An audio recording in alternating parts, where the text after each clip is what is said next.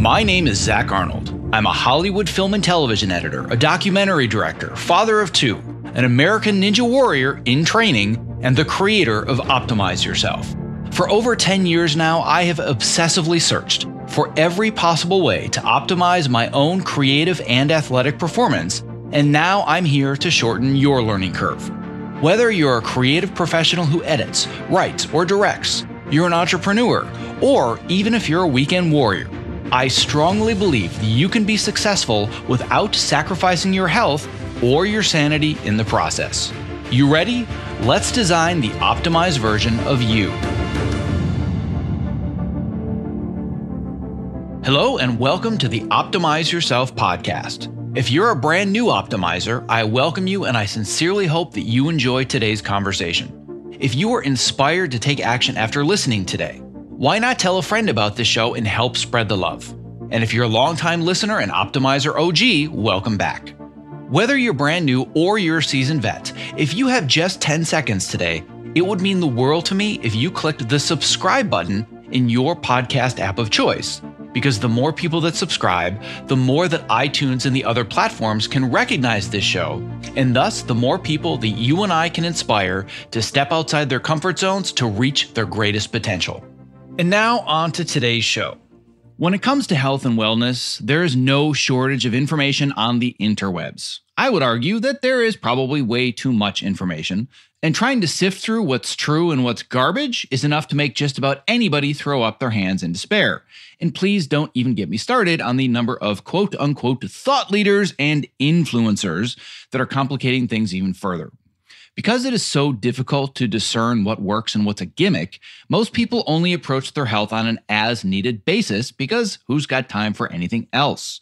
When something goes wrong, you go to the doctor. In fact, that's kind of what our traditional medicine system is designed to do treat sickness. But what if you strive to be more than just not sick and instead you want to optimize your health? I spent most of my life simply thinking that the doctor was there to help me when I was sick, which led to me literally hitting rock bottom, both mentally and physically, before I decided to take a more active role in my own health and well being. When I finally looked for help, I was disillusioned by what conventional Western medicine doctors had to offer. Then I found Dr. Edison de Mello and the Akasha Center.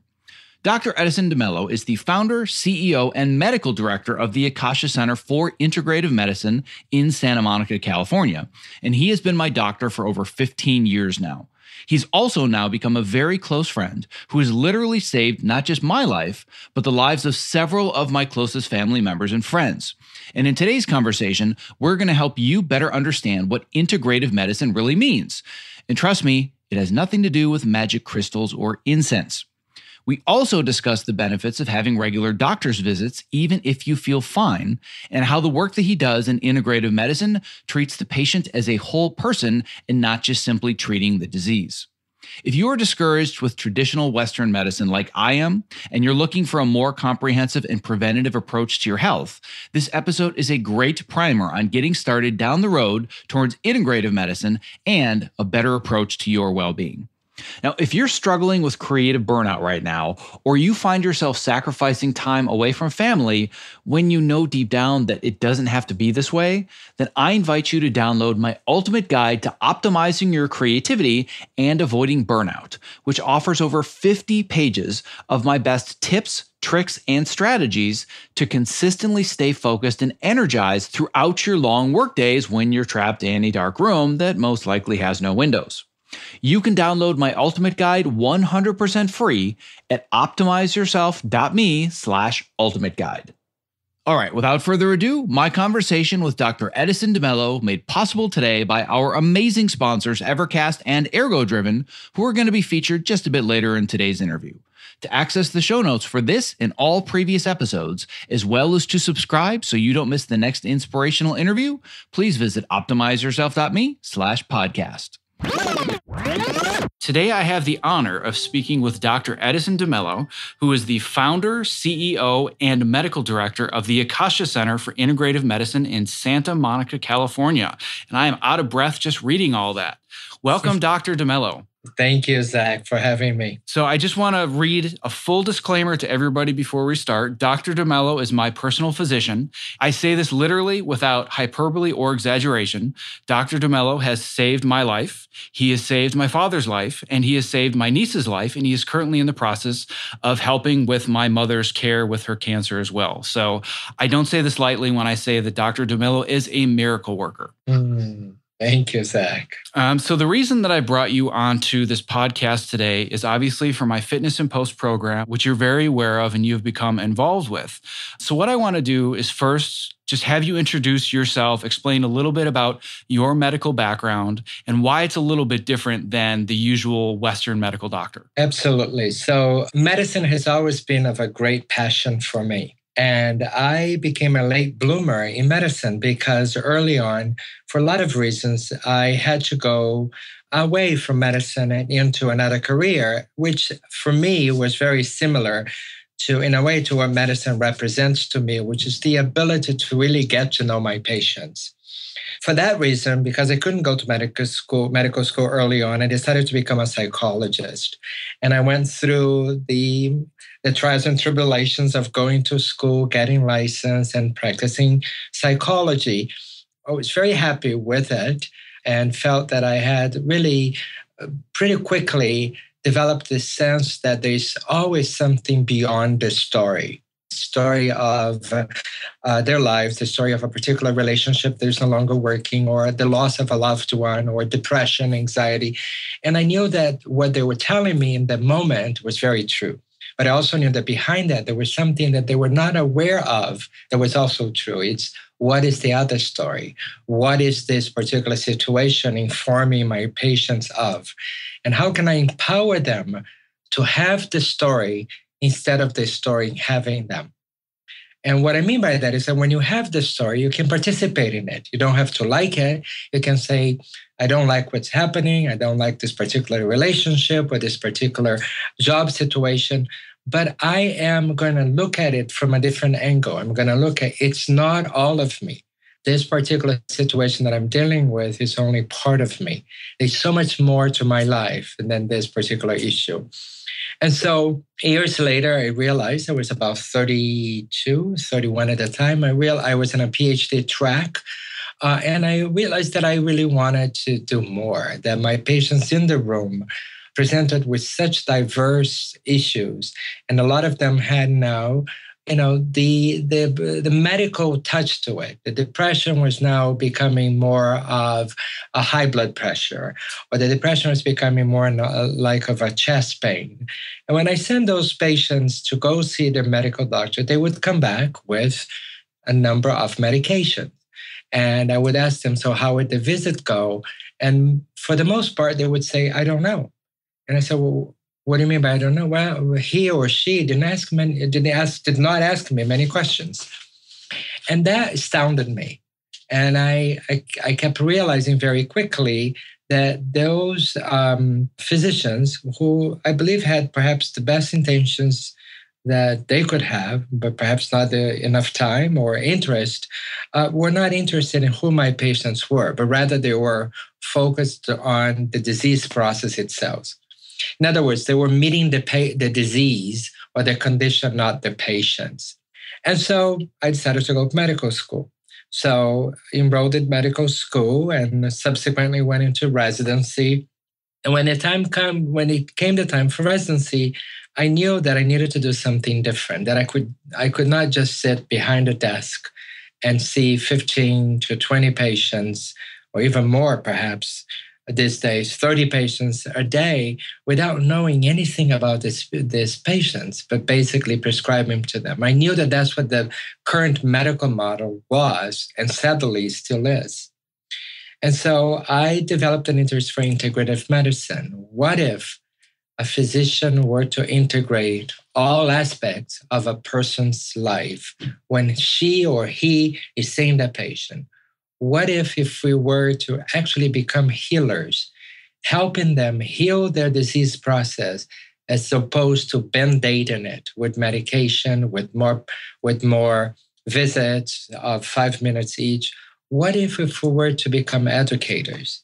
And what if, if we were to go back to the oldest form of medicine, which is when a physician in the in the old days used to come to your house, sit at a table with you, have a cup of tea or coffee, and then get to know how you lived, get to know who your neighbors were, get to know, you know, your gestalt, the gestalt of that family. And so when I finished um, uh, residency, actually writing in the last few months of my residency, I had the unfortunate uh, experience of, uh, of being part of the 9 11 rescue team in New York. And uh, that was the experience of a lifetime. Uh, from, the, from the time I saw the first, uh, the second plane hit to the time I left, five days later, when the National Guard came in, I realized that I, I was ready to do something different now. Not five years later, when I already had established my name in somebody else's practice or a hospital, not some not five years later when I felt more secure financially, you know, the medical student loans that one needs to pay. But I needed to do it now for those people who lost their lives, for the for all those people who had dreams, for all those people who thought that they had the next day. And I knew I could do it. And so the telling point came when during the 9-11 experience of being there, at one point I looked down on my shoes and I realized that they were covered with gray dust. But I didn't say dust at that time. When I looked down out of nowhere, I actually used the word matter. I said, Oh, look at all this gray matter. And it dawned to me that it was people's ashes that I was looking at. And so the ground zero for me became a, a very significant sacred grounds. So when I left there, I came back to California, six months later, I built or I started this medical clinic, the Akasha Center for Integrative Medicine. I saw it as a place where people could really learn how to change the paradigm of what they thought health is. In, in this country, we think that, that uh, health is going to the doctors, getting your physical exam once a year. For those of us who even do that, and then go back home and continue to life to live life as it is until we get sick. And then we keep going more often. Instead of once a year, we now go twice a year. And then we get older or we get stressed and we go more often. Now we're going to the doctor three times a year, four times a year. And I thought, wait a minute, there's something really wrong with this. I don't wait until my car breaks down to take it into the shop. I take it there so I can make sure that my machine, the machine that I need, to take me from one place to the other is working properly and it's not going to fail me.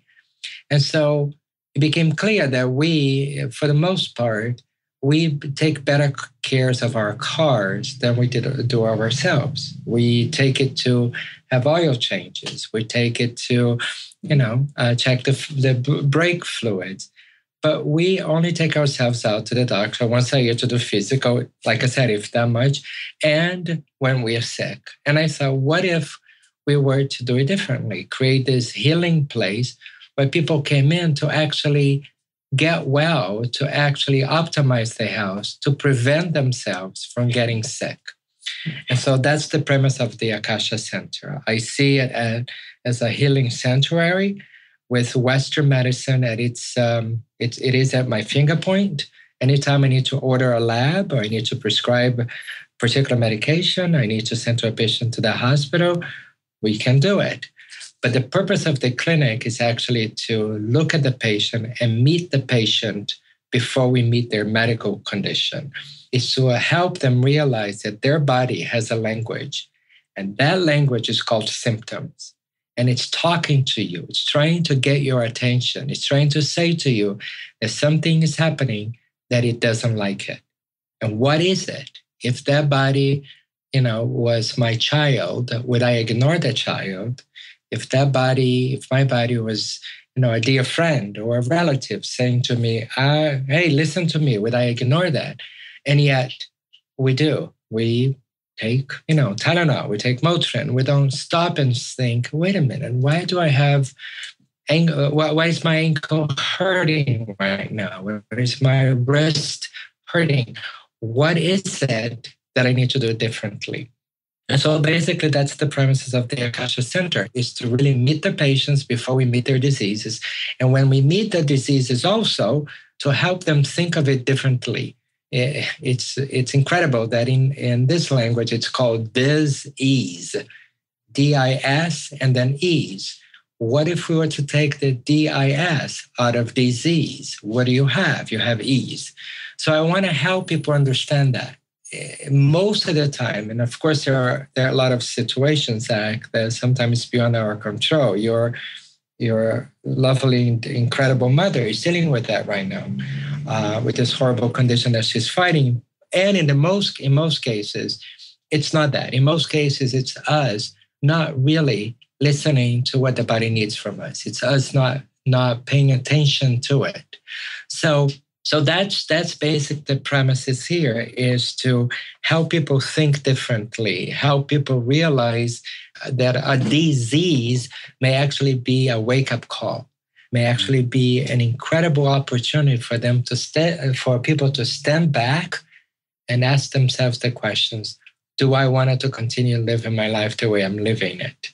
Right. And if I do, will this condition continue to grow? So before I even go any further, I just want to say I didn't know most of that and you were an inspiring human being before.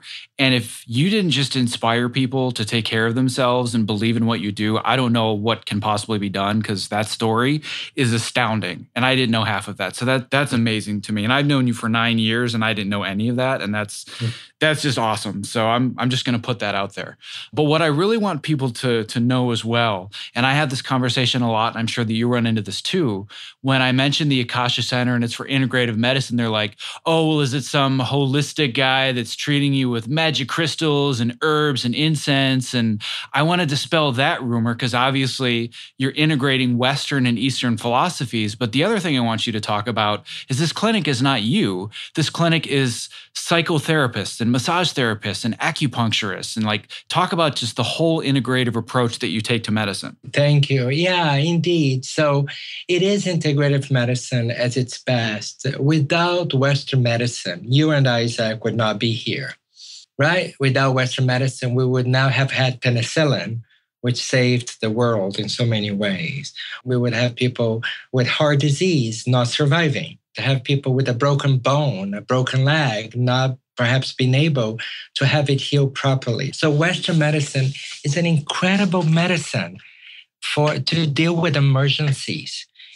So if for Zack, now that you've you've been in my I've known you for 10 years, if I'm ever talking to you in my office and you hear my you see myself putting my hand on my chest and say, oh, chest pain, don't talk to me about acupuncture. Call 911 and take me to the ER because what they're to do there, they will save my life. Here's what the problem is with Western medicine the same medicine that saves people's lives all over the world so beautifully every day never stops and asks the question what happened? Why would a 60 year old man have a heart attack? Sometimes it's evident, you know, he is obese, he has high cholesterol, he is stressed out. And another time, another time it's not obvious. The sad thing is that even when it's obvious, very few physicians in the medical, Western medical world will sit down and talk about acupuncture or talk about nutrition or talk about lifestyle or simply ask the patient this question Are you happy? Do you feel good when you look at yourself in the mirror? Do you feel you have optimized your health? Can you run around with your grandson or your granddaughter? Can you take your walk, uh, your dog for a walk without being short of breath? Because if we were to take the time to meet the patient, to look at them in their eyes and ask the question, we would start a dialogue about lifestyle, which in most cases leads to heart disease, the same heart disease that could have killed him. So, with that in mind, when Akasha Center was founded, I realized that I, we needed to take to a, a step further. That if it's not going to be Western medicine all the time, and again, if they come in, if you were to come in, Zack, and you, for some reason, on a flight home, you got pneumonia, and now your pneumonia is is uh, bringing, you know, is taking you into a very high fever episode. We're not going to be talking about herbs uh, we're going to talk about antibiotics, but along with antibiotics, I'm also going to make sure that we talk about steps that you can take to help your body metabolize the uh, antibiotics and to diminish the side effects. So we'll talk about if your body needs this, let's give it to it. But here's what we can do to help it metabolize it, to help it have less uh, side effects from the antibiotics that you need to to be able to take care of this pneumonia. So we brought in the herbalist. The herbalist is the person that would come in and, and meet with you if you had a pneumonia and say, okay, Dr. de Mello is giving you the uh, antibiotics, but he also wants me to help you with some herbs and help you increase the flow to your lung area. We know that the most amazing antioxidant of all time is blood. Blood is the most pure, the most effective healing antioxidant that we have. So what acupuncture does is stimulates the blood flow to the area. It stimulates the, the, the release of endorphins. And therefore, it gives you a sense of well being, a sense of that you're decreasing that kind of stress level of that disease can bring and allows you and allow your body to release the other hormones and to increase blood flow to the area. So that's acupuncture. You would also meet with a nutritionist or at least talk to her and we'll say, okay, so what is the best thing for Zack to take now that he has pneumonia? So we look at foods that, that create a lot of mucus. So we will take off dairy products and we'll say, oh, take a break from it now. You know, let's go and try to eat a meal that is, is more rich in protein. It's richer in protein, less carbohydrates, more vegetables, a lot of water and where you're eating consistently several times a day. And then from there on, depending on what you have, what, what your conditions presenting with, let's say you are dehydrated and you are somebody who cannot tolerate vitamins because your pneumonia also make you very nauseated. So we will hook you up to an IV bag where we would give you incredible amount of vitamins, all they are compounded, very pure vitamin that can bypass your gastrointestinal tract and go right into your system and can give you the incredible minerals and vaccine that you need to stabilize or to strengthen your immune system. And this is all scientifically evidenced. You know, in, in, in the 1970s, Linus Pauling won the Nobel Prize by showing that high levels of vitamin C was so incredibly effective as an antioxidant that, that he was actually recommending it for as an alternative or an excuse me, not an alternative, but an adjunct to chemotherapy. So when the patients were not doing the weeks that the patients were off taking chemotherapy, he would uh, recommend that people take then high levels of vitamin C. And so everything that that is in that bag that we're going to give to you as part of your antioxidant treatment of vitamins and minerals have been all evidence based. Research is there about the benefits of vitamin B12, the benefits of calcium, of magnesium, of lysine, which is, uh, again, this amazing anti inflammatory. So, depending on what the conditions are that people are being seen for, you can see anywhere from one to three to four uh, practitioners the same day when you're at Akasha. And even if you cannot see them for whatever reason, either because um, they're not available, because your condition doesn't really warrant them to come into the room, we make sure that they are part of your t- uh, treatment plan. We discuss the case with them. And so one of our very pride um, moments for us is when we can tell the patients, well, you saw me, but you actually, your case was reviewed by 10 of us. So see one of us, get 10 of us is uh, the motto that we believe uh, here for patients. And I can certainly say firsthand from the experiences that I've had there over the last like nine or 10 years that it's a completely different approach. And there's, there's a story that I know that I told you before, but it's, it's really what convinced me. You, what the story shows is how much you had taught me over a fairly short period of time and how I almost started taking it for granted. But it was probably about five or six years ago. My father was going through some very severe health issues. And I went to go visit him. He's in Wisconsin. And he was essentially catatonic and dealing with depression and you know nutrition issues and high levels of stress and wasn't very healthy. And we went to go see a regular western medical doctor and we sat down and they talked to him for about 5 minutes. He gave his list of symptoms and then they basically handed a prescription pad. And I said well hold on a second. Maybe there's a few more questions we can ask here. Isn't there a way that we can possibly introduce vitamin D or fish oils or you know is there any kind of neurotransmitter support you can recommend? And they just looked at me with this quizzical look and they said oh no, we're medical doctors here. And that was it. That's when I was done with regular Western medicine because I said, if they're not going to listen to any of this and they're going to discount it, I'm done. And I basically threw him on a plane and I flew him out to see you. And now he's 20 years younger than he was five years ago. So that that was my last experience with Western medicine, other than oh my god i just broke my arm or you know i've got a really bad cough like if my condition is very simple to diagnose, it's very run of the mill, and they don't need to know me, I run down the street and I get a Z-Pak, get an antibiotic, and get rid of my cough.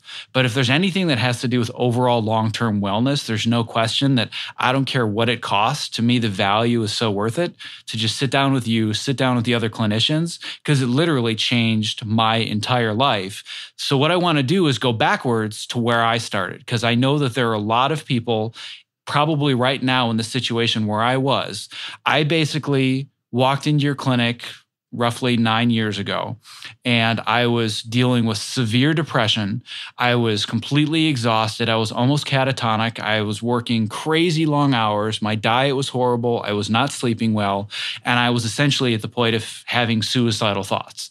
And I came in and you guys, I mean, it's just like a full court press. Like the entire team just jumps right on you from all directions. And you just, it literally, you just feel like you've become a part of a family. And then all of a sudden, you just see this improvement go forwards. But it's not just here's a pill to make you feel better, it's education. And that's what I'm really trying to do with my site and my program is educate people because there's no one fix. There's not a magic pill. But through a combination of education and hard work, you can empower yourself to make these changes as long as you have a guide. So that's why I think you guys are, are, just so vital to this process. And I hope that your approach to medicine takes off and more people start to do this. I think I think it has already because of patients like you and patients who want to be seen by the doctors, where patients who really ask themselves, wait, is this really working for me? And so the latest research is showing that seven in 10 Americans are now have now been exposed to some form of integrative medicine. And again, it's not holistic medicine that I'm promoting. It's not alternative medicine. We're not going to somebody else or I'm not promoting that one goes to another practitioner because Western medicine is bad. It's like I said to you, and you said as well, when you need to go and get a, a prescription for for uh, Z-Pak, it, it, it can be wonderful. It just never asks the question of why did the system fail? Let me give you an example. If you bring somebody into your house because your roof is leaking, he will fix the, the, the roof. But you, as a homeowner, is going to want to ask the question of what happened? What happened here? Why is it leaking? And so he will likely try to find an explanation. It may run the gamut of possibilities. That's what I'm promoting medicine is for doctors, practitioners and whoever else is practicing any kind of healing modality to take a step back and let go of this idea that is here that there's a band-aid approach to everything. And to use the band-aid if you need to. Literally if somebody's bleeding you need to use the band-aid right? But then to say hey why are you bleeding? You know is it that you cut yourself? Is it that your platelets are low? Is it that there's something else happening? And if you're your platelets are low. Why is that?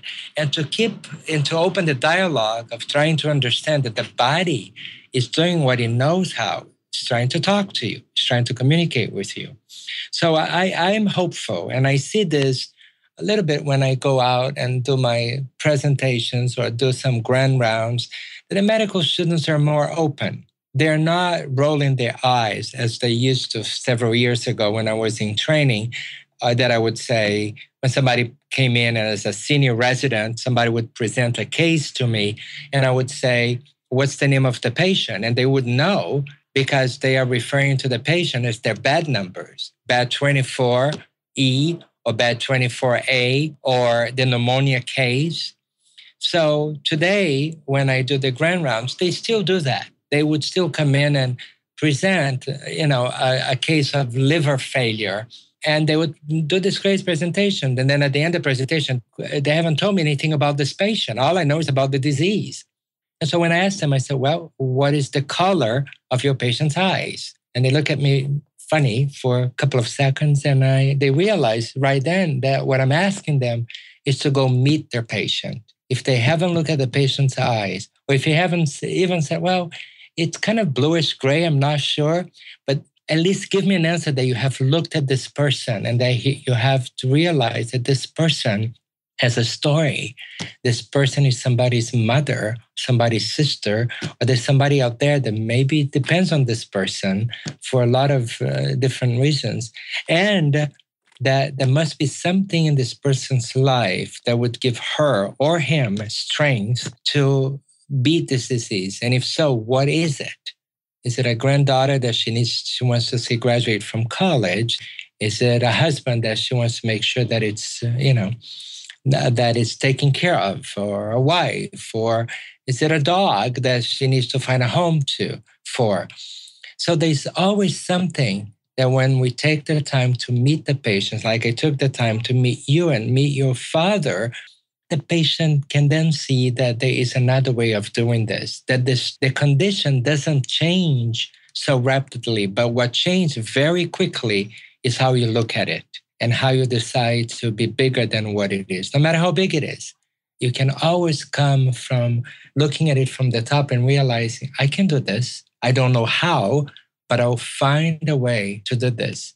And either to cure it, hopefully it can be cured, but if it, cannot be, be cured, to help me live with it with dignity. And uh, I think that I, I'm hopeful that I see more and more of that happening today. What I'd like to do now is just change directions a little bit. I want to go back to my story of where I started, but now we're going to put a hypothetical person in my position. And somebody's at that point right now. There are a lot of people in my industry that live incredibly sedentary lifestyles. Their health is not very good. Their diet is really bad. They're not getting any sunlight. They're not getting any activity. They're most likely dealing with some form of depression, whether or not they know it. Where can they start? I know that you have a supplement site, Akasha Naturals, and I highly, highly recommend the things that are there. I use a lot of them myself. But let's say that somebody just is not ready to jump into the integrative medicine approach and have 10 doctors look at them. And what's the baby step to kind of transfer from traditional Western medicine to this direction, either through Akasha Naturals or through your clinic? Okay, great question, Zack. I think the first question it's a very simple question, and you don't have to have the answer, but to ask yourself the question Am I living the life I want to live? Do I have the energy that I want to have? That's it. And then, and then, let's say the answer is no. I get up in the morning, I'm tired. And no matter how many hours I sleep, I don't feel rested. Uh, I look at myself in the mirror and I don't like the, the, the, texture of my skin or the way I look, or I don't like my weight, or I don't like you know, the texture of my hair, whatever that is. Okay, where I don't like, you know, that I, it takes me a lot to be able to go to the bathroom. Whatever the question is, it's just to witness the question. You may not have the answer, which most of us will want at first, but pose the question so that you don't go with it or into it with denial. And then take a baby step, as you said. For instance, uh, Zack, in this country, 90 percent to 95% of us are vitamin D deficient. And vitamin D is this incredible miracle type of vitamin. I do believe that it actually should be called hormonal D. It works as a hormone in your body, promotes a lot of metabolic functions. It strengthens your immune system. It helps uh, with the skin uh, health, meaning that if the skin is your largest organ, in your body, you want that skin to be healthy. You want it to be able to absorb, excrete, breathe in a very optimal way. Where vitamin D has been proven to do that. It even prevents, uh, when the levels are optimal, prevents, uh, prevents cancer. So you ask me, but hey, Dr. D, why 90% of us are deficient in vitamin D? Very simply, because our body is very smart. Our bodies, it really needs a synergy between the body and the and the nature and nature to be able to uh, to operate in a very optimum way. Your body produces vitamin D2, but it needs sun to activate it into the active form of D3. But we put a hole in the sun, right? The ozone layer. We don't have enough time to spend time in the sun in the early hours of the day when it's safer. And we don't have the four hours a day that would take to be able to really metabolize or transform the right amount of medicine, uh, the, the, the correct amount of vitamin D into vitamin uh, D2 into vitamin D3 you need uh, you know quite a bit of it to be able to optimize it. So vitamin d i think would be this, the first step that i would take.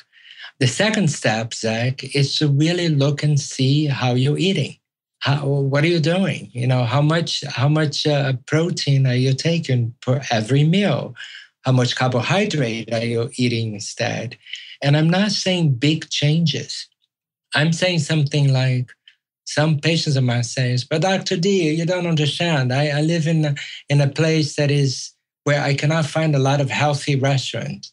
And I said, well, healthy restaurants is really, it depends on how you look at any restaurant.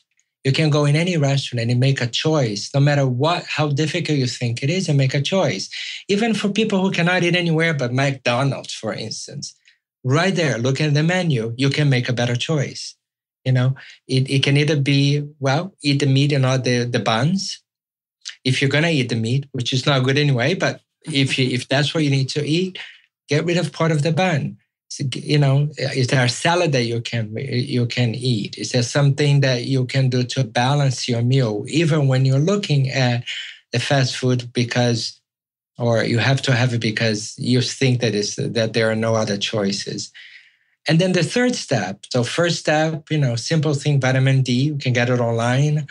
Second thing, ask yourself, how am I, you know, how am I eating? And the third thing is, am I doing everything I can to move my body, to exercise? Now, you may not be able to go to a gym. People in your industry works from very early in the morning until very late at night. If they are busy uh, you know, uh, editing a particular project. Sometimes you don't leave until the job is done, and you come in many times very early in the morning when there's no sunlight, and you leave at night. So there you have it. But you can get off. You can get off your chair and walk around the block. And if you need to go into another office where there's an escalator versus an elevator versus a stair, which one do you take? It's only a matter of perhaps another two minutes that you would save if you were to take the escalator or the elevator. Taking the stairway will help you move your body, move your blood, exercise, you know, your juices, and in the meantime, decrease the amount of uh, cortisol that your body is making by the simple fact that you are working in an environment where no, where there's no sunlight and where you're stressed sitting most of the time. So those are the the three baby steps that I will take for any one of you out there asking yourself the question, how do I do this? How do I get it started? Well, you're a really good spokesman for my program because that's step number three, which I call making small changes. And it's just, it's not about getting a crazy exercise program and changing your entire life. It's about doing what you already do, just finding more active ways to do it. So you just gave me some free advertising there. That's great. There you go. um, so as long as we're on the topic of diet and exercise, I wasn't didn't think I was going to go here, but I, I, might as well bring this up now. There's so much information about diet and food and fad diets and, you know, eat only this, eat only that, and counting calories. And one thing that I've been a really big advocate of from all the research that I've done independently is that calories are not all that they're cracked up to be. And what's so much more important than counting the number of calories is understanding the quality of the food that you're eating and the type of macronutrient it is, whether it's a fat, a carbohydrate, or a protein. And what I've been advocating, and I'm hoping that I've been correct in advocating this, is that if you say, I've eaten 2,500 calories today, but I've exercised and burned 3,000, I know I'm going to lose weight. But my counter to that is, well, what if you ate 2,500 calories of Krispy Kremes? That's not really going to work based on the complex way that the body works. So, can you just talk a little bit about the idea of calories in versus calories out versus the quality and the types of foods that you eat, especially processed sugars and processed foods versus proteins and healthy fats like avocados and almonds and things like that? Absolutely, Zack. I, I you know, I think we've become very, very imprisoned by the idea that there is one way that works and everything else doesn't, or that, you know, carbohydrates is bad, uh, are bad, and that um, protein is better, and that you should do this, you should do that. And along the way, I think we forget a simple question of what is the individual's lifestyle right now?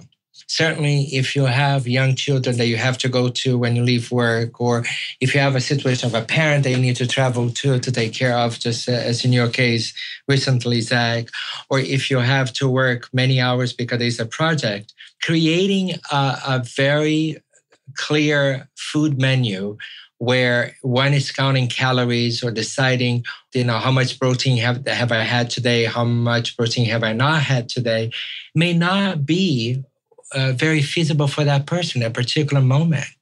And it may actually lead one to feel so guilty that it was uh, to feel like a failure that then you do you try very hard for three days. It doesn't work. You feel frustrated and you say the heck with it all and you go back to now eating even worse than you were before because now you're feeling like a failure and you're feeling that you cannot do it. So for me in my practice in this clinic practice the idea is can you look at what you're eating and tell me which changes can you make right now? We all know that we are 100% protein. You know, we come from an egg and a sperm, both 100% protein. That protein is the basis of life. The protein is the basics of cell metabolism. And we all know that. This is high school biology of common sense. And so knowing that one needs to move towards protein whenever possible is it's a fact of life. It's it's not anything that needs to be proven. It has already been proven because you were born. You were born because there was 100% protein there. Like I said, mom and papa and, and, and dad coming together, and here you are. So, how do we sustain life with protein? So, therefore, look at the balance you know, certainly in the morning, it's the very the morning breakfast is the most important of all meals for you because that's going to determine, you know, how you're going to feel for the next three to four hours. And so, try in the morning to have pretty good uh, source of protein. You may it doesn't have to be a lot. Sometimes, you know, a tablespoon of of almond butter is considered a whole a serving of of protein and you can put that in your drink. You know, you can make a protein drink here at the Akasha Naturals. Zack, as you know, we do. Uh, uh, we recommend that people start the day with a protein drink, so you can decide which one works for you. There's pea protein, there's rice protein, and for people who are not allergic to to milk or who don't have a lactose intolerance, there's whey protein. And so we recommend that you start the morning with that. In fact, we recommend that you make it the night before just put a couple of bananas uh, on a whole big um, jug of uh, on uh, your blender and uh, put a quart and a half there of almond milk if you're not allergic to milk to almond milk uh, some berries frozen berries that are organic because berries are very porous and they retain a lot of the pesticides. So we always recommend that people eat the organic berries put four to five scoops of the protein in there. Like I said, the one and a half quart of, of um, liquid. Sometimes it can even be water or coconut water, or in my case, I like uh, almond milk and a tablespoon of um, almond butter to really give you a lot of sustenance and mix it. And now you have two to three shakes for you to drink throughout the day. Drink the first one in the morning before you do anything whether you're going to go to the gym or not, drink that. Uh, sometimes it helps to after that to drink a little bit of uh, of a very healthy, non-processed fueled energy drink. There's a couple of them that we recommend here at the center that you take. You mix that, take it go do your workout or go for your morning walk or simply go to work if you cannot exercise. Then here you are. You let's say you're doing this drink at seven o'clock, Zack. By 10 o'clock, you're gonna be hungry, or even banana nine o'clock. Then you you think to yourself, okay, what can I have? You know, some people will have a piece of fruit, which would be great.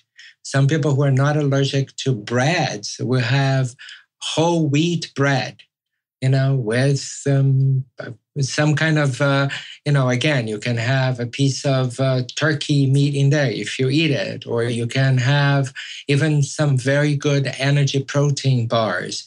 There, uh, there's several of them available. They are not processed based. Have a light lunch. Always thinking of yourself, how did my grandparents eat? it's a joke that I that I use a lot around the clinic with my young patients, or sometimes patients, you know, in the mid the middle age group. And they say, "Well, I don't know what you eat," and I say, oh, "I don't know what to eat," and I say, "Well, think like your great grandparents or your grandparents. Where do they eat?" You know, and so you go towards that. You know, so for lunch, you can have a piece of or chicken or a piece of fish, or you can have the sandwich without all the bread. You can have a salad and then you have in the afternoon, when you get hungry again, you have the other part of your protein drink. So now you have the protein drink in the morning, you had it in the afternoon, and then you get home and you have a light, healthy dinner. So, in other words, the way to stay healthy is to eat. That's kind of interesting because most people think now the way to stay healthy and not gain weight is not, it's only to eat three meals a day. It's, it's the very opposite the more small meals, healthy meals you eat, the healthier you become. The, the question here is how small is the meal and what is the quality of that meal? That is the big question for you. So, what we see in the US, for instance, is that we are on that wagon of not eating breakfast. Most of us don't. Then we get very hungry, very hypoglycemic for lunch. And then you see the supersized me kind of servings that people have. Everything is big, right? You see these people eating this, uh, drinking these gallons of Coke, gallons of, uh, of, of whatever drink. And these foods, that the more the better. This one hamburger is stacked on the top of the other. They are super hungry. And when you're super hungry, you cannot think of anything but the more the better. So you overeat, and then 20 minutes later, the sentence that I hear the most situations like that is, I'm stuffed. And then you stop and think, why would anybody do that to themselves? Why would they eat so much to the point that they are stuffed? Okay. Is it that they have no control over what they're eating? Possibly. Or is that that there's that, but there's also the fact that there's a 20 minute delay between the area of the brain that specializes in hunger, that tells you that you're hungry, and uh, the enzyme in your stomach that communicates with your brain to tell it that it's full. That enzyme is called neuropeptide.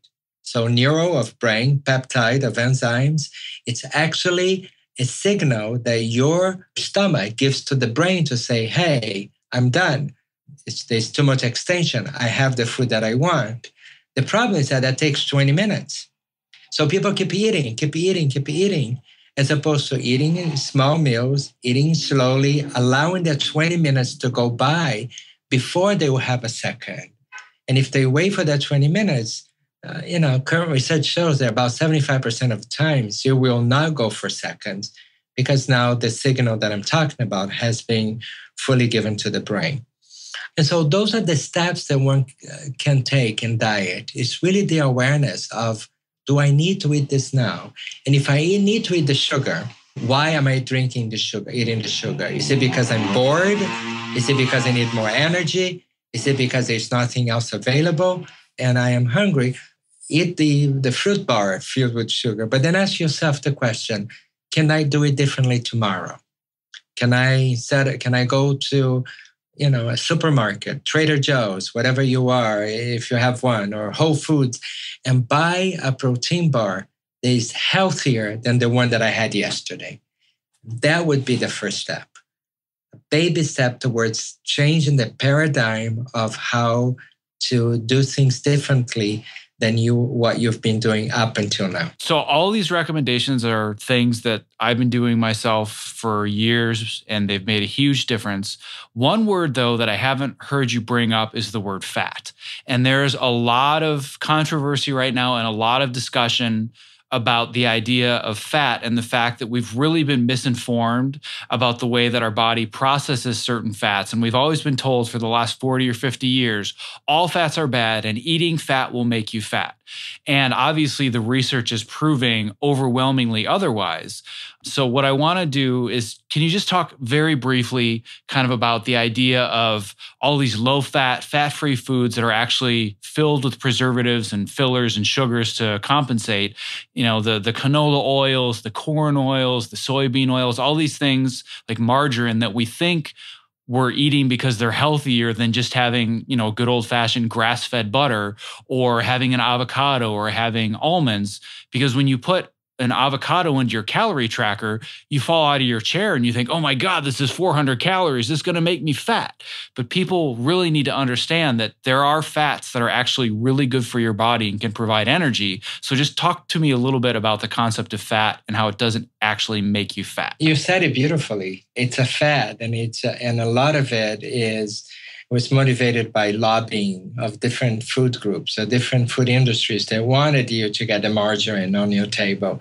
They wanted to get to get you to buy the canola oil and so on and so forth. So I'll leave the politics of the food industry aside for now, Zack. But it is true that fat is not the enemy. What the enemy is is the amount of you know the bad fats that we consume. So let's talk about the good fats. The good fats are the fats that are good for your heart. The fats they are good for your production of good hormones. You know, in this country or in the Western world, for years we've made cholesterol the bad guy. Cholesterol is not bad. Without cholesterol, we wouldn't be here because we wouldn't be making sex hormones that wouldn't allow our parents to make us. So every hormone starts out from the fat tract and then it trickles down to the different subsets of hormones on one side, uh, steroids to the other side, and so on and so forth. So uh, the good fats are the fats that are that would be good to provide you with the kind of nutrients that your body would need to be able to produce what's called the uh, high density lipoprotein, also known as HDL. We talk about good cholesterol and bad cholesterol. So let's talk about the good cholesterol. The good cholesterol is your HDL, high density lipoprotein. As, as the name implies, it's high density, it's always moving. So I think of it as the Roto-Rooter of your system. It goes in there and, and takes the bad cholesterol, which we'll talk about in a, in a little while, the bad fats, and it takes to the liver so that the liver can process it out. So you want to have uh, foods that are rich on your good cholesterol and your good fats.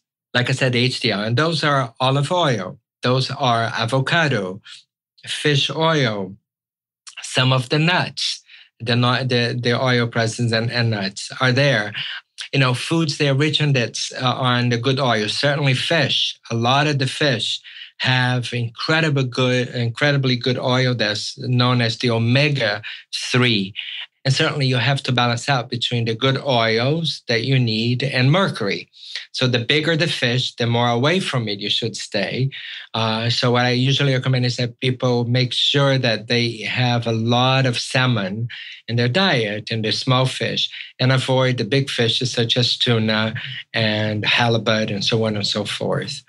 Uh, avocado, very rich in HDL again. There's very little research pointing to any significant side effects of any of those good foods, of good fats. It's none, unless, of course, you have a, a kidney condition where you cannot metabolize protein.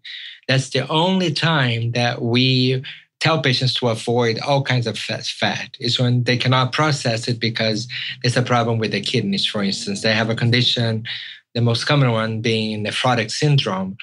Coconut Coconut is an incredible uh, good fat also. Coconut water, incredible in not only a little bit of that good fat, but mostly of the electrolytes.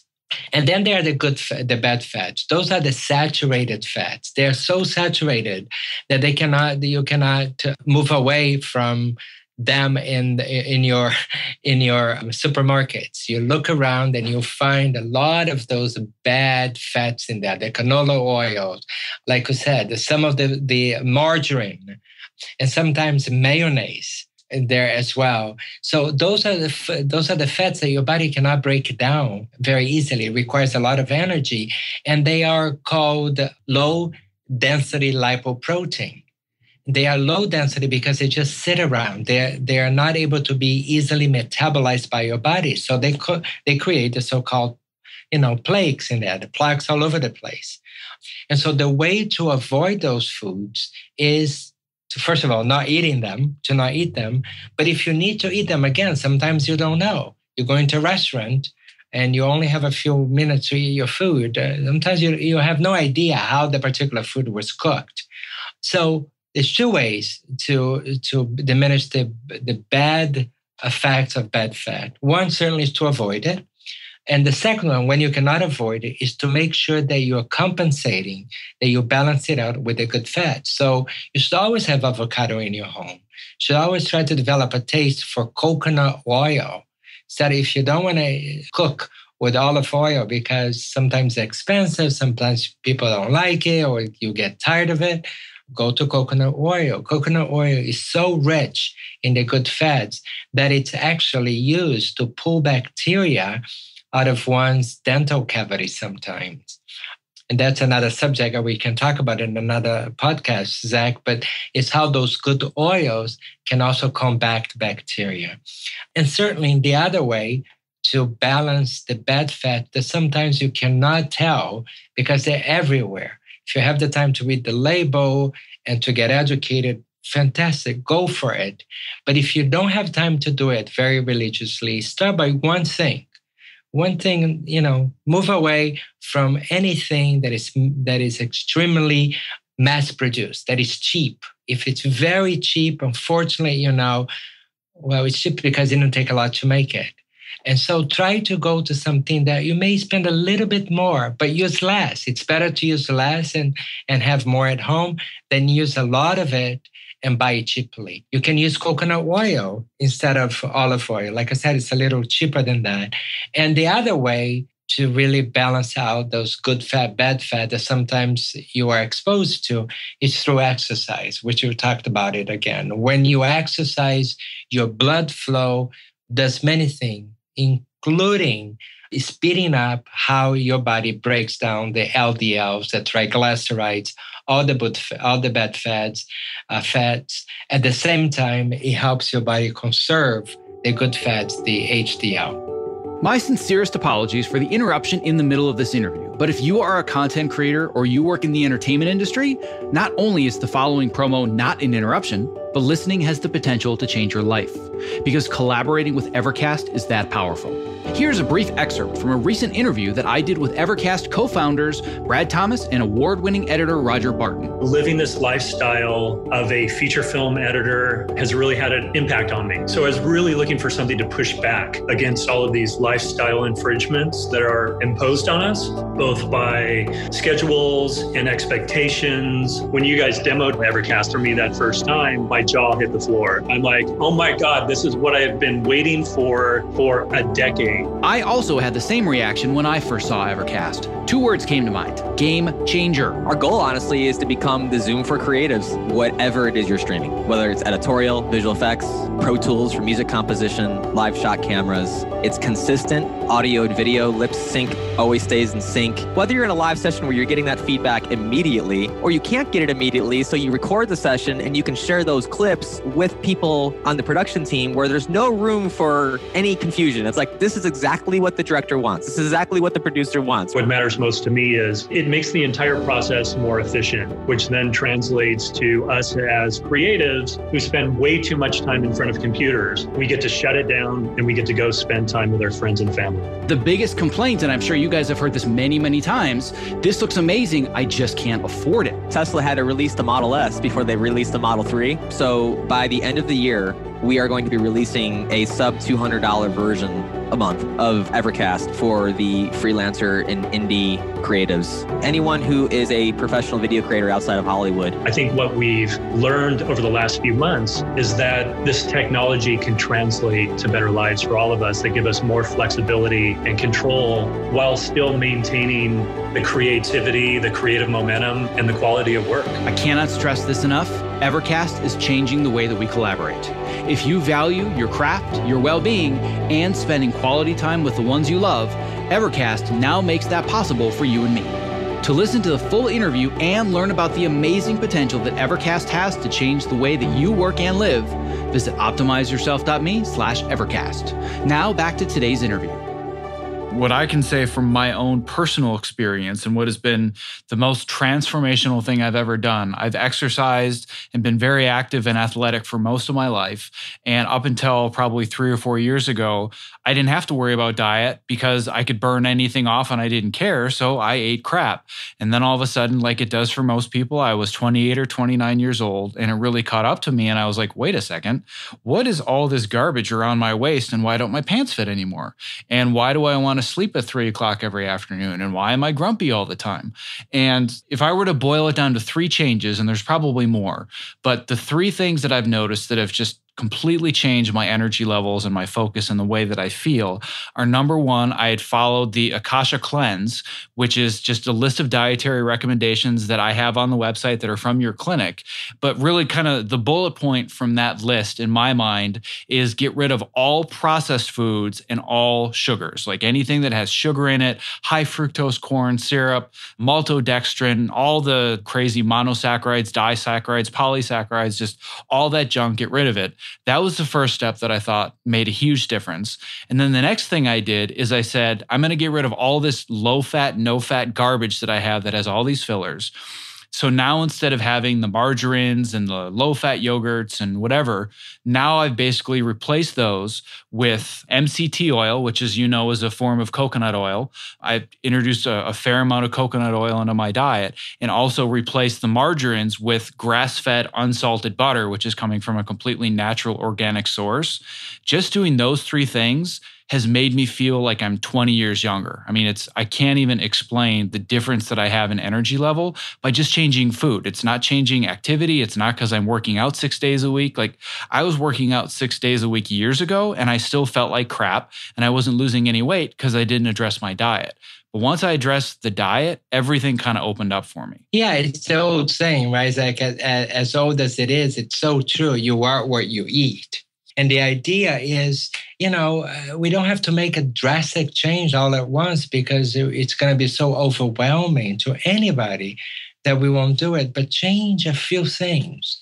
Change the way you relate to food. And change the way you think of food. You don't think of the fact that your car needs fuel to be able to run, to take you again. Going back to the car analogy, you're not going to question the fact, oh, my car needs gas or electricity for to go from point A to point B. You just do it, and you do it. Uh, hopefully, we don't see a lot of people stalled in the streets because they forgot to put gas in the car. You just realize that you look at that little, you know, little gadget there, little pointing thing showing that you are on empty and you go oh I, I, need to do something about it. But yeah when it comes to the body we don't do this. We wait until we are on empty until we have run out of gas to be able to go get food. And the idea here is to change the paradigm. Here's a point that i want you to drive home. You don't drink don't wait to drink water until you are you are thirsty because by the time you're thirsty, you are already dehydrated. And so you see people drinking water too fast, which is better than not drinking water, but not a good way to drink water.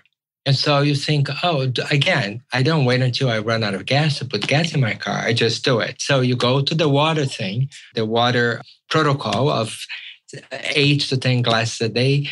It's based on research. You need that to be able to operate effectively. And you just do it. Put a glass by your desk, put a glass or a bottle of water everywhere where you are going to be in a particular day, be it in your desk, be in the bedroom, be in front of a TV, whatever you're doing, make sure that you have a bottle of, of water there for you. The same thing with food. You don't wait until you are hungry for you to eat. You eat so that you don't get into this starvation mode.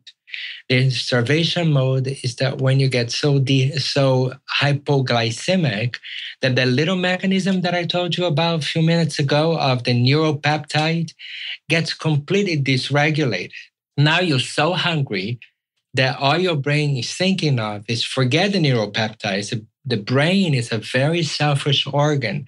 It knows that it needs to come first beyond anything else so that you can operate.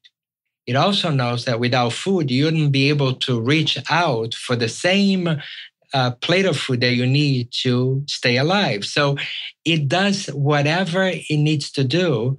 And you've heard of horrendous stories that people go through when they're hungry to be able to get that food so that it can operate. So your brain, in other words, is the hard drive of your body. And when you are hungry, and because you haven't eaten for several hours, like I said, the whole mechanism of coordination, coordinating with your stomach acid, coordinating with your neuropeptides, it all goes down the brain. And now you're basically eating, eating nonstop, completely in a discombobulated form that at the end of the meal that may last only five minutes, if that much, because you were so hungry, you have not chewed your food, you have, you have um, eaten so much and sometimes the wrong food that the side effects of that action can really be detrimental to you. So eat so that you don't get hungry. Drinks water so that you don't get thirsty. And the analogy again is that when you look at babies, and for those of you who have children, who have ta- or and or have been caretakers of children at one time in your life, you know that a baby and a toddler needs to eat every three to four hours. It's kind of like clockwork. Well, uh, here's the here's the analogy, uh, Zack. We are ex-children, which means that our system is the same. It never changed. The requirements of your system didn't change. It needs food every three to four hours. It needs water every hour. What it changed is that food became a socialized phenomenon. What changed is that you became socialized beings that work, relate, you know, responsibilities, whatever it is that we need to do, for most of us, come at the expense of food. And so change the paradigm, changing how you relate to it, change how you think about it. Do more of the podcasts that, that Zack is promoting, get more educated about it. And, and then take a step back and say, all right, if I can make one change this week, what would that be? And go for it and stay consistent. And then the following week, okay, if I can make two changes this week, what would that be? Maybe I won't take the elevator if it's only up to the third floor. Maybe I'll drink more water, even when I'm not thirsty. I don't think I'm thirsty, but my body needs water, so let me do it. Maybe I will think about in the morning when I'm rushing to my car, to the garage, to the bus, I will grab a, an apple and put in my bag those little changes it's the beginning of a new language that you will soon learn. And then like any language the more vocabulary you add to it the more proficient in the language you become. So keep adding more vocabulary in the form of habits that you're changing one by one until you're going to have a pretty nice basic language of eating better established for yourself so the, the next category of information that I w- really want to address, and this is kind of coming from some of the members of my test groups and my challenge groups, um, this is exercise related. You have the tools in front of you to understand what your body's doing, but what is it that you should and should not do when you first starting it into exercise? Just hear the basics to understand about your heart rate, how your body works when you're not in great shape and you're getting started. I want to make sure that people don't jump in too much and try to do too much too soon. So just kind of address that that general idea. The question of exercise and how much should one, you know, how much time should one spend on exercise if you're a beginner or if you're somebody who used to do it and hasn't done it for a long time? And what is a good heart rate? Usually, the rule of thumb in integrative medicine is that when it comes to exercise, more is better at a lower pace because you are conditioning your body to be able to really stand even more rigorous exercise in in a few months hopefully in a few weeks. So when you start it's always better to to ask yourself what is my goal?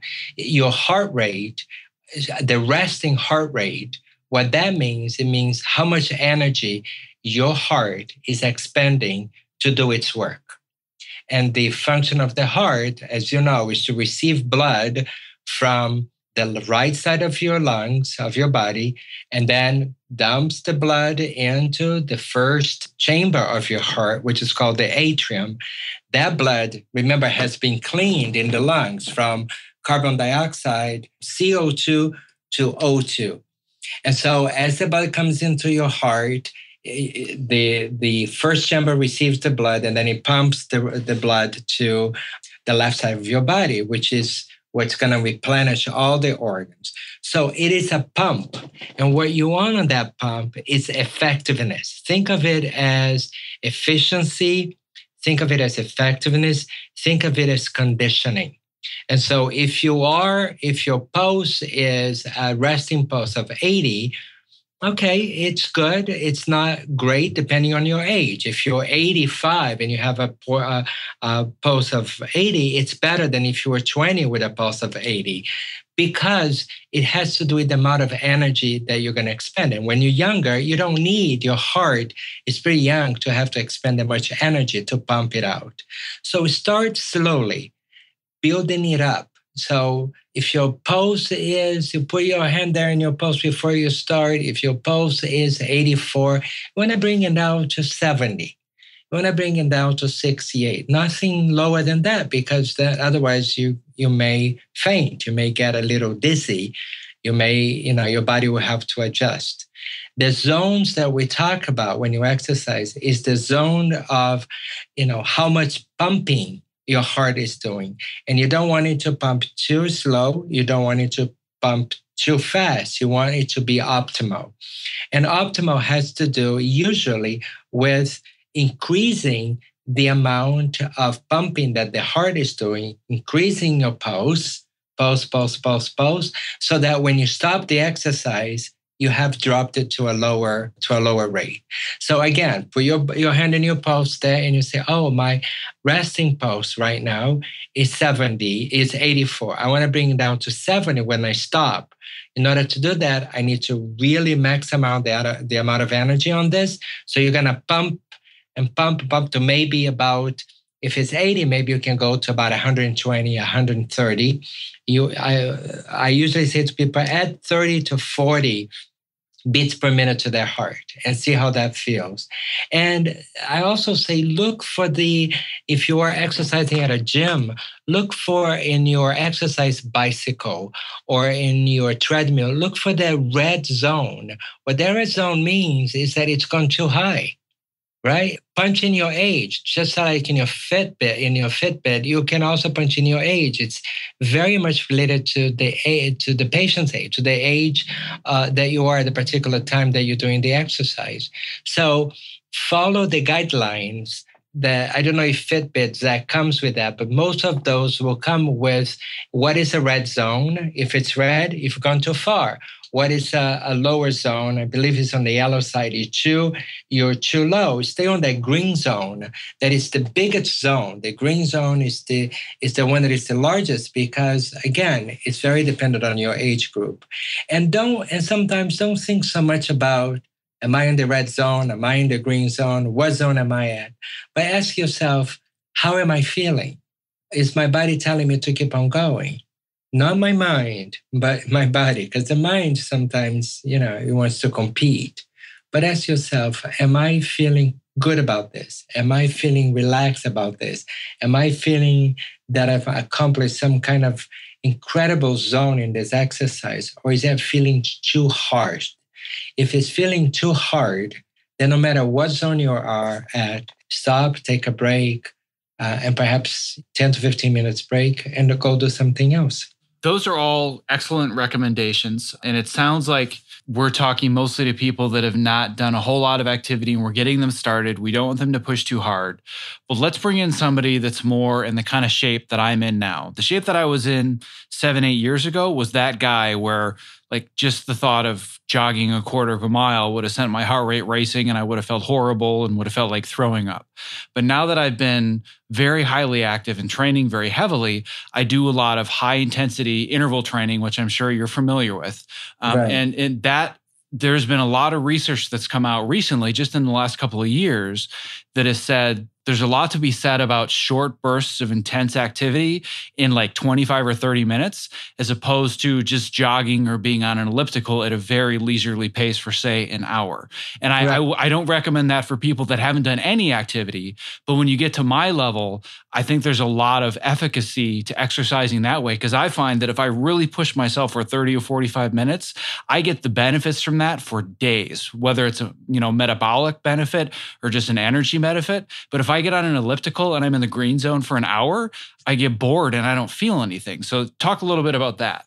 Okay, well, so so you're a perfect example. When you started, you started slow, and you needed to be on the treadmill for about 40 minutes, 30 to 45 minutes, and you needed to be to pace yourself because you didn't want to break down your muscles so quickly where you would take days to recover. You also wanted to optimize your exercise stamina by being able to slowly increase your pace. Once you get to that level that you are now, Zack, where, you know, I've seen you the other day and you look fantastic and really in great shape and really strong energy of really health, good health, then what you want to do is the opposite. You want to push yourself and then you push yourself as hard as you can. That's the whole idea behind interval exercise, is to really maximize those fibers in your in the red fibers in your muscles, is to really use them to the max, because then you sit back and wait. And, uh, and very quickly see the benefits of the endorphins kicking in, of the muscle building, protocol that you have that, that will suddenly be very helpful because you are increasing creatine in your body, you're increasing endorphins, but you can only do that if you conditioned yourself. Think of it as running. When you want, if somebody has never run before and suddenly wants to take up running, the idea is to go from really brisk walking to power walking to then running for no more than 10 to 15 minutes at a time. Because what you want is to condition yourself, is to, strengthen your muscle rather than to break down it so completely that you're now going to have to spend time rebuilding it. You don't want to break it down so badly. What you want to do is strengthen it.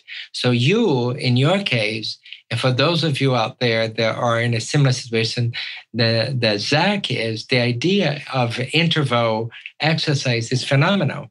But even within interval exercise, pay, you know, know when to stop.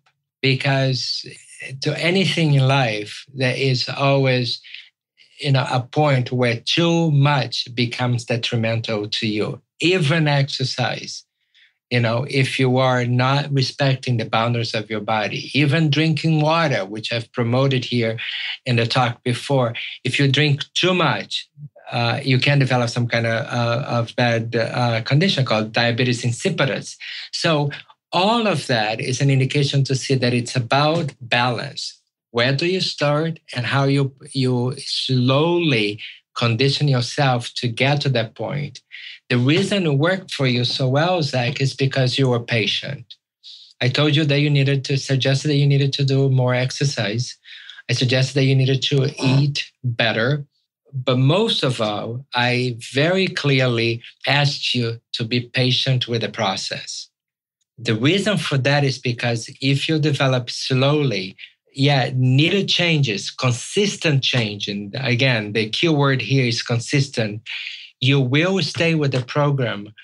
Uh, you, you are more likely to stay with the program longer than it is if you just decide that to go from you know 8 to 80 without any preparation of your body so and that's what the problem is but people who I see sometimes when I exercise, and I see some of, of those guys in the gyms, they're uh, lifting weights that are too high for themselves. The weight of uh, what they're lifting is just too high. And so, yeah, they're lifting it, but their posture is awful. And so it's really not benefiting them at all integratively. And then we all know that there's a certain point where we feel I can push myself a little bit more without losing my form, or it's time to stop. It's the same thing about sleep. I can stay awake another hour and try to push myself up a little bit to stay up. But there's at one point that you just cannot do it anymore, that you have to go and rest. The body's the same way.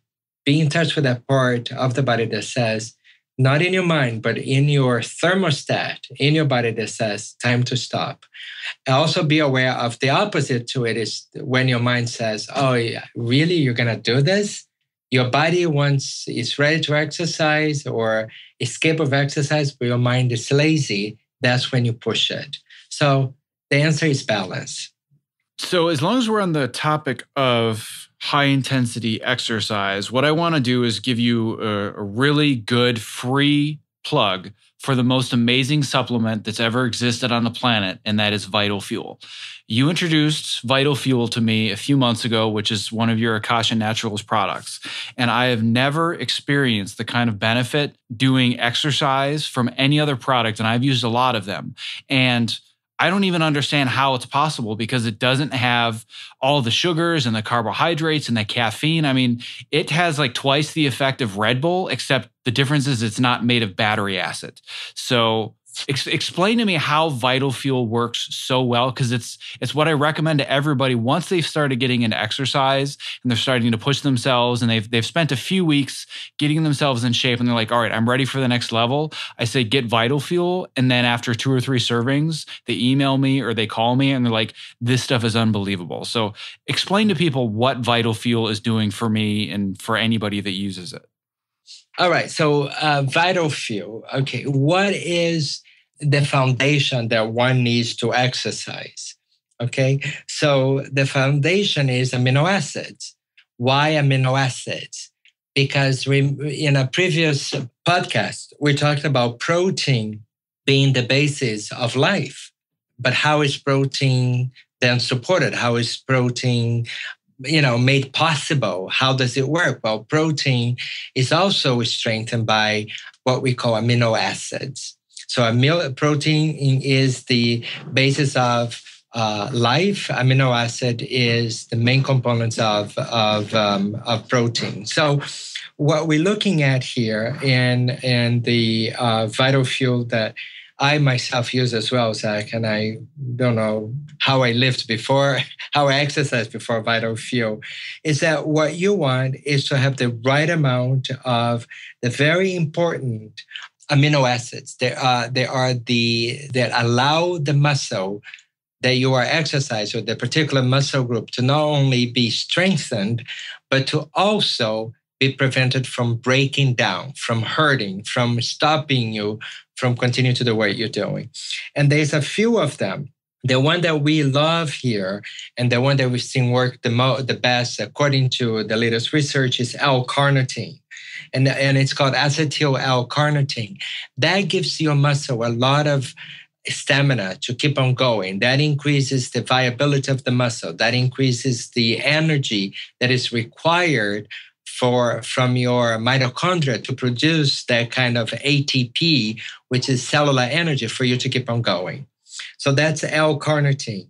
Then uh, D-ribose, there's something called D-ribose, which is the same thing that is on DNA or what is DNA? So uh, this ribose is the good amount of source, which is in the form of not your refined sugars that people using their foods every day excessively so around the world but the good the good sugar the good that is present in your own dna that gives you the energy to be able to operate that's called d-ribose in addition to that, we also have several other things in there.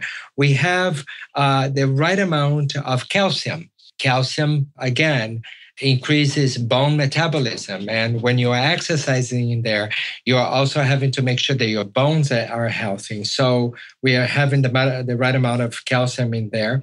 There's also uh, carbohydrates. Carbohydrates like cholesterol, it's not the bad guy. It's what quality what is the quality of the carbohydrate that you're using and when are you using the carbohydrates you use carbohydrates to give you energy to give you fuel to be able to do what you need to do. So the best time to use carbohydrates is when you need energy. So if you're going to go on a bike ride if you're going to go exercise or if you're going to have a long day and you need to have energy carbohydrate is good for you. It's not good when you're eating it in a in a in the form of a pasta dinner seven days a week and not at eight o'clock at night because you're not going to go and burn it out after that. So this vital fuel, we assume that it's good for exercise, and we have people take it during the day whenever possible to use it if they're going to exercise during the day, or if it's not too late at night, right? If if people want to take this at say nine o'clock, nine, 10 o'clock at night, I usually tell them, well, it may keep you awake because it, you don't, it's going to give you the energy to exercise, but also it's going to take the energy that you need to kind of slow down your metabolic process so that you can go to sleep. And it has, you know, um, some very good protease, and protease, as the name implies, anything that has an ase at the end is a is basically an enzyme. And protease is very good to help you in your metabolic process, to help you eliminate what that which you don't want, which is called the free radicals after you exercise. Uh, in addition to that, it has CoQ10, and CoQ10 is an enzyme. Okay, another enzyme that is incredible for metabolic process that involves, you know, the ability for you to maximize your oxygenation. So somebody comes in and they feel like that they are going to go on a long bike ride and they don't want to take this because they're going to do a bike ride at night, I will tell them to take CoQ10, take 200 milligrams CoQ10 because it's going to help them to uh, maximize the benefits of oxygenation in the body. So, oxygen, as you know, is the, is the reason why we're here. So, it's also what you need to have a significant amount of when you exercise because you're going to be using more of that.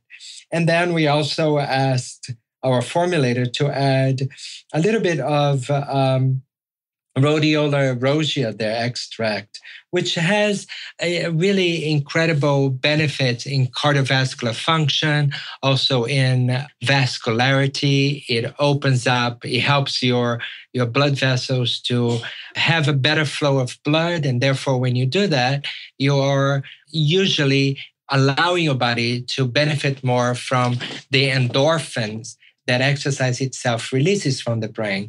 And why does it improve endorphins? Because it improves uh, blood flow. So, rhodiola is an incredible herb that is really beneficial for you know increasing blood flow increased vascularity and sometimes even used for people who need to uh, improve their moods a bit so uh, so that's the the magic of vital, vital fuel and it is magic. I will attest to that firsthand. And every single member of my test group will say the same thing. Because w- whenever you suggest a supplement or a meal replacement or anything else, there's always skepticism and the idea of, yeah, well, you know, is this really going to work and what's in it? And the second anybody gets vital fuel, they just think to themselves, well, I don't know if this is really going to do what it's supposed to. And then they take it and they realize that their life is literally transformed and they will never exercise without it. There was a Facebook post this morning of all days where one of the members of my test group had placed his a follow-up order for more vital fuel and it said that it was temporarily out of stock. And the, the message on his Facebook post was just the word no with like 50 O's, like no, like that. I've, I've, I've gotten people hooked on your stuff, but the reason that I love using basically anything that you have from Akasha Naturals is I know that I can trust that it doesn't have garbage in it. Because if yeah. I'm if I'm going to go to the store, if I'm going to go to Ralph's or even to Whole Foods, there are fillers and preservatives and there's all kinds of junk in there that isn't doing anything that the label is telling me it's supposed to do for me. And I know that you are formulating this stuff firsthand and there's no crap in it. So I don't need to understand every single ingredient because I know that it's something that's pure and natural and doesn't have junk. Thank you, thank you. Yeah, yeah, we are very proud of it, uh, of Akasha Naturals, and it's really proven to be quite beautiful for us to see the benefits that our patients can, you know, gain from this. Uh, we also believe, uh, even though we are part of our business model is supplements, we also believe that less is more. It's about consistency. If somebody comes into my office, Zack, with a with a, a brown bag of filled with 20, 30 supplements, I, I see that uh, as being very unhealthy because then you think, okay, if I'm taking this, some organ system has to metabolize it, break it down, and another organ system has to excrete it. So you're actually overwhelming the system. Uh, with vitamins that, for the most part, when I look at those bottles, they're just really sometimes the same vitamins with different names. So one has 10,000 milligrams of vitamin C, the other one has one milligram, the other one has 500. And I'm thinking, why not come up? This is seven years ago eight years ago when we launched it. Why not do something where we could stay in business, can help can help us stay in business and benefit the patient the most by educating them, by educating them that it's consistency that matters, just like exercise. Even if you can only do 50 minutes of exercise a day, do it every day even if you can only do five minutes, do it every day. Even if you can only eat, uh, for right now, eat half of the bread that you've been using for whatever reason, you cannot, you don't have the time, you don't have the money, you don't have whatever that is. It's the idea of consistency because consistency leads to habit change. And here's something that I want to tell you, Zack, and your listeners it takes about 21 days for any system to adjust to a change. Not adjust, but to be able to kind of gather or understand what's happening. So when we put people on the dietary regimen that I put you on, the Akasha cleanse, what I asked you several years ago was do it for 21 days, minimally, but do it consistently. And then let's talk about it and you came back and you said i feel fantastic. So then what what i did then was like can you do another 21 days? Because by then you start to create a habit that is different than the habit that you had before. Eh, you start to create another language. And again go back i want to go back to the idea of habit being a language. You have to be consistent with the language. I remember myself when i was learning a couple of other different languages I didn't know what I was saying. I just needed to to remember that I need to I needed to keep re- repeating it, repeating it, repeating it until my brain was able to get the connection between the particular object that I was trying to describe and how to pronounce it in the new language that I was learning. Well, that's the same with any processes in the body. So find something that works for you. If it's a, if it's vital fuel, stick with it people, if you take a week, you may not be able to feel the benefits because for some reasons, one, you know, you haven't changed the habits completely. Two, maybe you need to do something else in addition to that. If you're looking at it as it's going to be make me have all the energy in the world without you changing your habits, your eating habit, it won't. I would love for you to buy it, but it won't help you. But if you do what Zack has done, which is like, how do I change my lifestyle? And at the same time, how do I support my system, this incredible body system to optimize the, my exercise energy? How can I do that? And so Vital Fuel became this incredible magic for you for two reasons. One is because you're asking yourself, how can I eat differently? And two, you're, you're uh, really readily available to make some changes in the form of connecting the food, eating well, also with the exercise, and realizing that it's a cycle and they're all connected. The last thing that I would like to get into is the idea that most people think to themselves, well, it's all about diet and exercise. It's all about what I eat and how active I am. And that's the key. And if I can figure those out, I've nailed it and I'm going to be healthy. And I try to take a much more all encompassing approach. A lot of this, I'm sure, just coming from knowing you, but also from other research that I've done. And what I'm really trying to stress with the people that I'm doing these challenge groups with is that diet and exercise are really the first two places to start because that's those are the things we're most familiar with. But the next big thing is sleep. And it's not just about the quantity of sleep and sleeping longer, but it's about the quality of your sleep. So, talk to me just about a few different things that you have to offer that can help with the quality, even if you can't increase the quantity. Because, me, for example, I'm fairly locked into a sleep schedule because I have two small kids. So, I can't get nine hours a night. But if I can get six hours and those six hours are awesome, I'm good for the whole day. So, just walk me through why sleep is so beneficial in the recovery process and what are some things that you offer that are, you know, over the counter as a supplement that can help people get better quality sleep? Okay. So again, as I said before, Zack, and you were a testimonial to that, it's all about education. It's about looking and seeing what what is it that we're doing that is not working. So even before the supplement, and I have some great recommendations here. Ask yourselves the question, can I do this differently? Yeah, I cannot sleep eight hours a night or seven hours or sometimes even six. But what can I do within the six hours that I have to sleep that is different than everything that I'm doing? In our culture, people do electronics either because they have to for work or because it's a pastime for them right to the moment where they need to go to bed. I just see that all the time with kids, my own kids, that we have to, to consistently educate them to turn off the computer or, or, or the TV. And you, you need to do everything possible to help your brain calm down, not to wake it up. So, all of you know that when you're looking at a screen, you're actually looking at millions and millions of little, little tiny uh, uh, pieces of a screen that together compose where you're looking at. And so you cannot see that, right? Your but your brain does. Your eyes see the complete image. Look, I'm looking at my computer now as I'm talking to you, Zack, and there's a big picture here on my on my desktop. And so my brain says, "Oh, what a beautiful picture!" Uh, my eyes, but my brain is busy putting together all the little particles that together will compose the picture, which means that it's busy. And that's what happens when you are watching TV right before you go to bed, when you're working on your computer, or when you are on a cell phone. And again, I have a lot of compassion for people in your industry, Zack, because sometimes you cannot do that.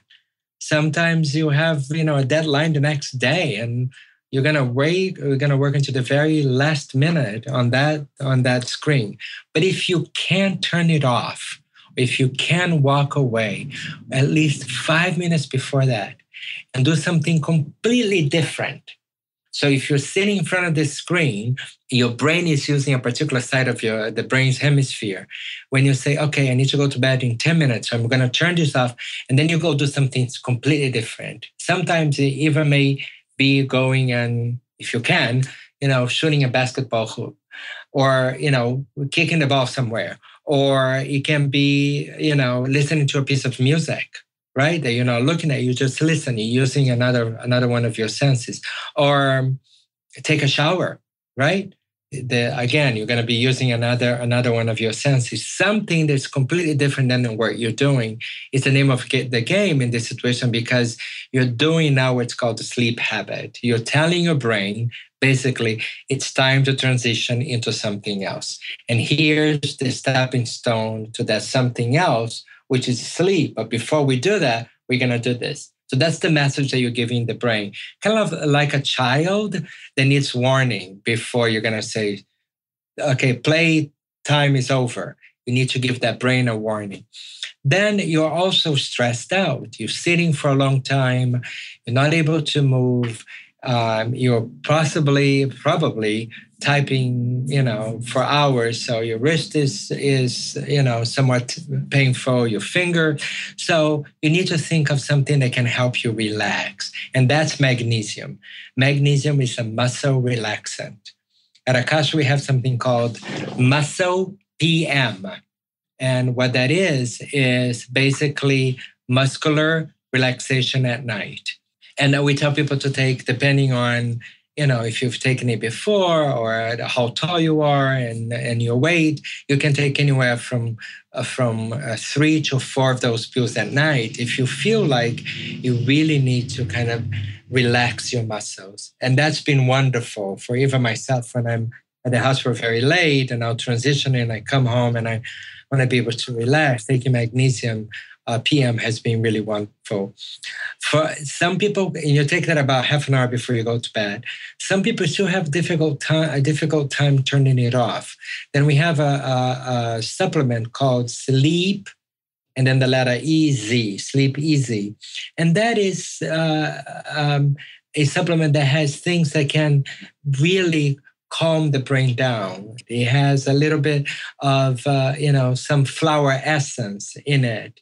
It has things that have traditionally given uh, uh, the body, again, a sense of transitioning from one wavelength, which says stay awake, to another wavelength that says it's time to switch uh, you know waves here and starting preparing the body to go to bed. It also has what's called rhodiola, which I mentioned before, is an herb that is uh, extremely important for blood flow. So your brain will get all this blood flow that it needs to bring the good, you know, melatonin in it that you need to sleep, and also has uh, some calming amino acid that can really help you bring your levels down. Make sure that if you are too anxious, you cannot sleep, even after you do this, that you hopefully have a discussion with your healthcare practitioner.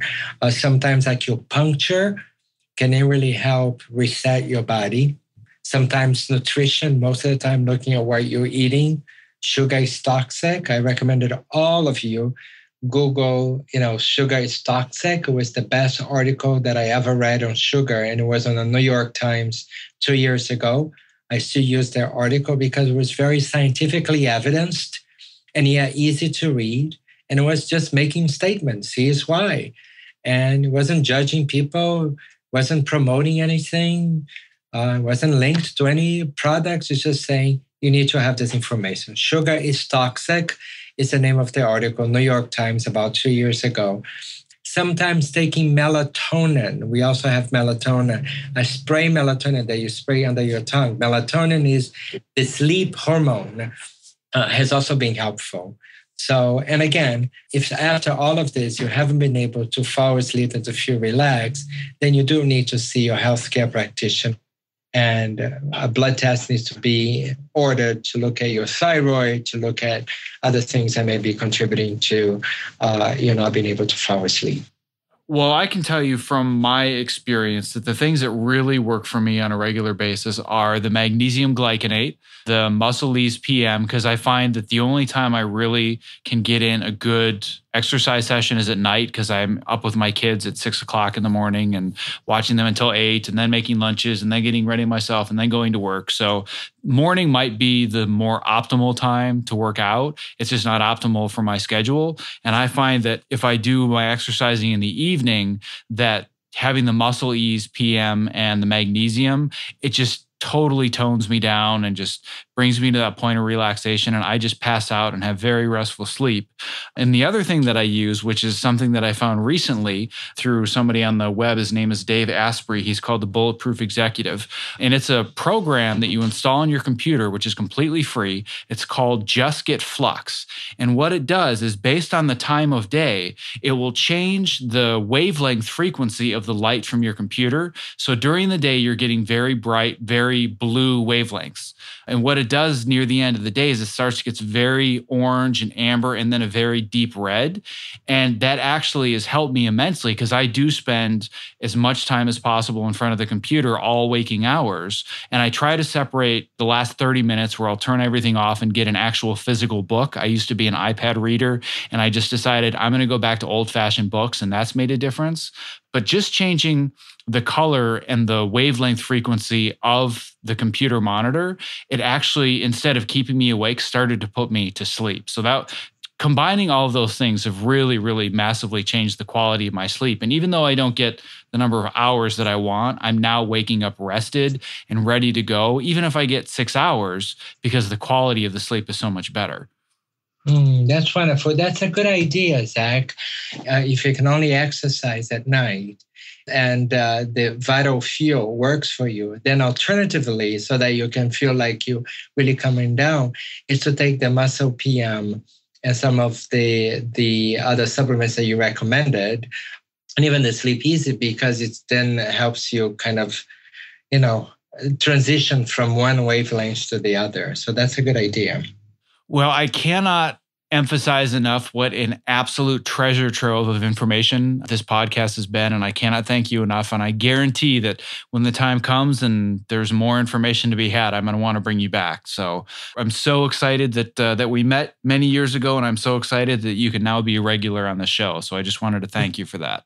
Well, thank you, Zack, for your trust that you put on me. I mean, uh, the admiration is very mutual. I want you to know that because you were ready you knew that your whatever you're doing, you had the, you know, beginning your family, you you needed to do what you needed to do to put the food on the table, to get the mortgage going. So you needed to work a lot. But you also knew that you could not be at the expense of your body because you wouldn't last. And, and so you very quickly were able to recognize that when I brought it up to you. And so, and you were ready and you took uh, the beautiful initiative and you became this this incredible advocate for integrative medicine and now bringing this gift to your colleagues there in the editing world. So yes it helps when you're ready but even for those of you out there that's not ready for whatever reason just take a step back and, and think again about even if you're not ready to do much of one little thing that you can do to make a change. And it will be my pleasure to come back on the show again and explore other other subjects out there that um, I think you will really be able to help your your colleagues even more um, than you have so far by continually showing them that awareness and knowledge is the name of the game when it comes to optimizing your health. So thank you for having me. Before closing up today's show, I would love to ask for just a couple additional minutes of your time and attention to introduce you to one of my new favorite products created by my good friend Kit Perkins, who you may recognize as creator of the Topomat.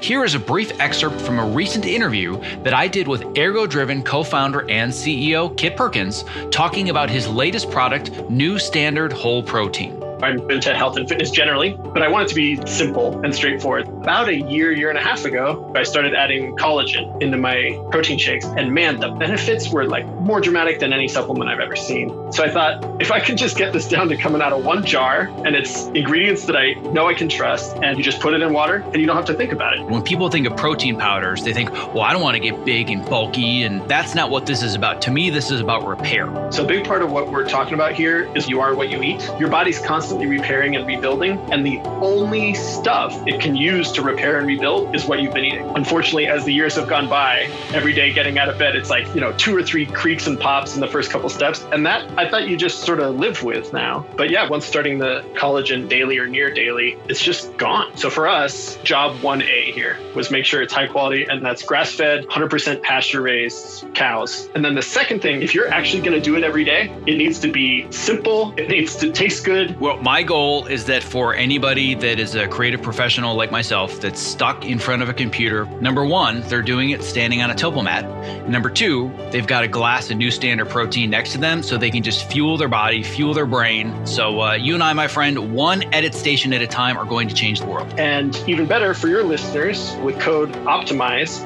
on either a one-time purchase or that first subscribe and save order, 50% off. So if you do that subscribe and save, that's 20% off and 50% off with code OPTIMIZE. That's a fantastic deal. If you're looking for a simple and affordable way to stay energetic, focused, and alleviate the chronic aches and pains that come from living at your computer, I recommend New Standard Whole Protein because it's sourced from high quality ingredients that I trust and it tastes great. To place your first order, visit optimizeyourself.me slash new standard and use the code OPTIMIZE for 50% off your first order. Thank you for listening to this episode of the Optimize Yourself podcast. To access the show notes for this and all previous episodes, as well as to subscribe so you don't miss future interviews just like this one, please visit optimizeyourself.me slash podcast. And as a quick reminder, if you would like 50 plus pages of my best strategies to optimize your creativity and fit in even just a little bit more life into your work life balance, you can download my ultimate guide to optimizing your creativity 100% free at optimizeyourself.me slash ultimate guide. And a special thanks to our sponsors Evercast and ErgoDriven for making today's interview possible. To learn more about how to collaborate remotely without missing a frame and to get your real-time demo of Evercast in action, visit optimizeyourself.me slash Evercast. And to learn more about ErgoDriven and my favorite product for standing workstations, the TopoMat, visit optimizeyourself.me slash Topo. That's T-O-P-O. And to learn more about ErgoDriven and their brand new product that I am super excited about, New Standard Whole Protein, visit optimizeyourself.me slash new standard. Thank you for listening. Stay safe, healthy, and sane, and be well.